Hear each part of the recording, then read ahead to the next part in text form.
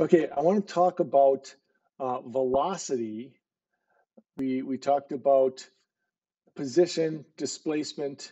Now, to, and we mentioned speed and velocity. The, the difference is that velocity does include a direction. But now I want to talk about how we use graphing to represent motion. We we showed the motion of a car that was going from uh, one position to another in certain in a 10 second interval, and we saw the position versus time graph. Now I want to show you the velocity versus time graph. Now velocity is defined as the change in position over the change in time. So it's the rate that the displacement is changing. So right here I have the formula, average velocity is the change in position, delta x, change in position over change in time. So it's measured in meters per second. So when we talk about velocity, whenever you hear the term meters per second, right there should click in your head, okay, that's velocity. It can be positive or negative. In one dimensional motion, that just means it's going one direction or the opposite. So if we have this the same sequence of motions for this car, we have the 10 seconds of motion, but now if you notice our our y coordinate is v in meters per second versus x in meters. So now this is a velocity versus time graph. So if we watch the motion of the car, now it has a different shape graph. And it's a series of horizontal lines. Now the vertical lines are just there to connect where the horizontal goes. It's not actually showing the velocity of the car because that would mean that the velocity is changing without any time going by. Now, in real world situations, that can't happen. In a graph, it can, uh, but that also tells us, let's go back here and look at this again. That also tells us why this car doesn't seem to move very realistically. It jerks around and goes back and forth and doesn't have time intervals where it really changes speeds and velocities. So notice when the value of the velocity is above zero, it's moving in the forward direction, the positive direction. When the value of velocity is below zero, it's moving in the backward or opposite direction. So the sign of velocity tells us the direction something's moving. The magnitude or amount of velocity tells us the rate that it's changing at. All right. Acceleration is how rapidly the velocity is changing. So we have this formula here, which looks very similar to what I just had on the board for velocity, average velocity, but now this is average acceleration. And this tells us the change in velocity over the same time interval um, is measured in terms of acceleration. So when we talk about acceleration, I'll just write that down. We have delta V over delta T. So that has the units of meters per second per second. Oftentimes, and you'll hear me say meters per second per second, but when we write it, we usually write it meters per second squared. There is no such thing as a square second, so that's why it can be confusing. But um, mathematically, meters per second divided by seconds is the same as meters per second times 1 over seconds. So that's why we get meters per second squared. This table has some different um, acceleration values of typical things ranging from, well, we see the acceleration of gravity on Earth. That's how fast things accelerate down. In other words, every second that something is falling, it falls 9.81 meters per second faster. Okay. Um, if you have to stop your car in an emergency, it stops approximately eight meters per second every second that you're hitting the brake. That's not a crash. That's hitting the brake as hard as you can. All right. Uh, acceleration of gravity on the moon, 1.62. You'll notice that is about six times less than the acceleration of gravity on Earth. That means you experience about one sixth the gravitational force on the moon that you do on Earth. Okay. Acceleration is the one thing about motion that you actually feel. We we physically can feel acceleration. You cannot feel position, you cannot feel velocity, you only feel acceleration. When your car is traveling at 55 miles an hour, you don't feel any different than if you're sitting in your chair at home. You might see the world flying by, but you don't feel different. But if you hit the brakes, you feel like you're being pushed forward in the car. Or if you if you hit the accelerator to start at a stop at a stop sign, you feel like you're being pushed backward in the car. Acceleration is something that we feel. So it's the only part of motion that we actually feel. And we'll talk about why that is uh, in a later unit. Okay, so acceleration, just like when we talked about velocity in a position versus time graph, in a velocity versus time graph, acceleration is the slope of the velocity graph.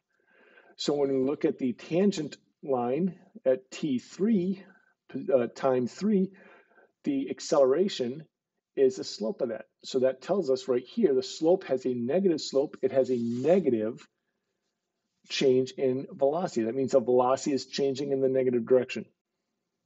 Okay. In this particular case, it's slowing down, but that's not always the case. Uh, so that can be confusing. The between T1 and T2 and between T2 and T3, if we take the the slope between those two points, that would be what we call the average acceleration. So this we oftentimes pile up all three graphs. If you notice the position graph is the top one, the velocity graph is the middle one, and the acceleration graph is the bottom one. Now, this is a much more, this isn't the same sequence of motions. It's a much more realistic sequence uh, of motions for a car because it has to speed up and slow down.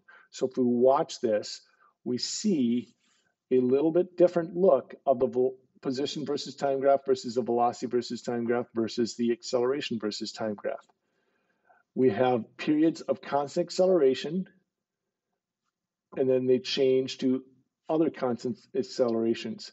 When there's an acceleration, the position versus time graph has a curve. And the velocity versus time graph is diagonally oriented. So we have a little bit different look. And that the reason is because it's increasing the distance every second that it moves every second because it's got an acceleration. So acceleration describes the slope of the velocity versus time graph. So if you look at the first second and a half there, you've got a positive slope of the velocity versus time graph. And that means that the position versus time graph has a slope that is positively changing. All right.